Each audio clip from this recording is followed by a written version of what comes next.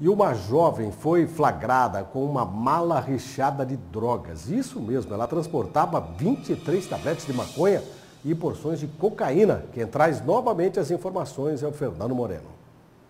O total é de 16 quilos de maconha, cerca de 23 tabletes né, da droga, tudo embalado, tudo pronto e dois pedaços que vocês veem aí de pasta base de cocaína. São dois, dois pedaços grandes, né? Esta droga, ela foi, saiu na verdade aqui de Cuiabá, só que a menina é de Manaus. Ela tem 19 anos e as iniciais MAC, e ela pegou essa droga aqui em Cuiabá, estava levando para outro estado e ela iria para uma cidade do Nordeste. Só que a droga ela não vai mais chegar ao seu destino. A Polícia Rodoviária Federal, do posto de saída aqui para Rondonópolis, fez a abordagem do ônibus quando descobriu essa droga na mala, onde vocês estão vendo. Aqui o Mairon, ali o Agnello. Mairon, ah, tinha uma informação ou foi de rotina?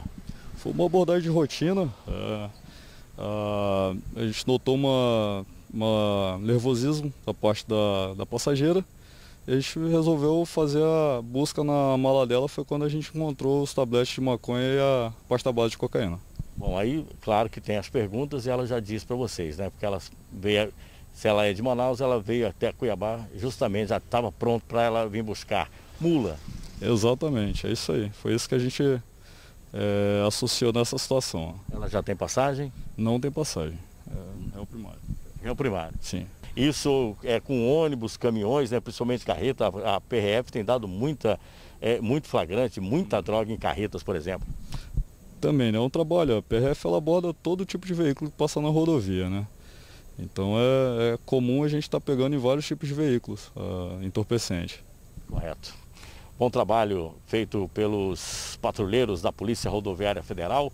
Aqui o Agnello, o Myron e, claro, que é um prejuízozinho para o tráfico de drogas. Essa saindo de Cuiabá teria destino ao nordeste do país. Obrigado a vocês, parabéns aí pelo trabalho.